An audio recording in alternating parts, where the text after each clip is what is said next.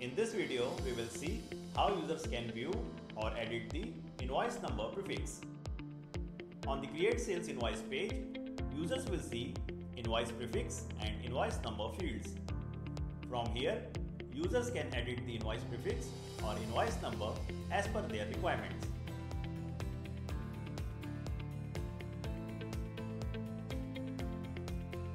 If users does not want to add any prefix to the invoice number and they wish to remove the prefix, then simply click on the settings button on the top of the section and quick invoice settings menu will open where they will find invoice prefix and sequence number section.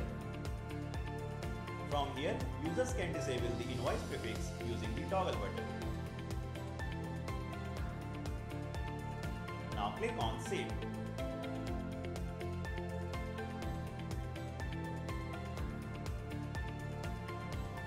Now users can notice that the invoice prefix field is removed from the section. Now let's add any new prefix to the invoice number. Click on settings. Now enable invoice prefix using the toggle button. Now enter a new prefix and a sequence number from which you want to start and continue.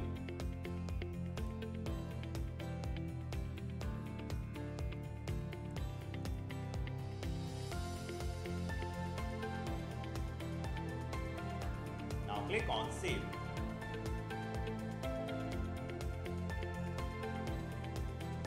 Now users can see the new invoice prefix and the invoice number are added on the section. Now click on Save.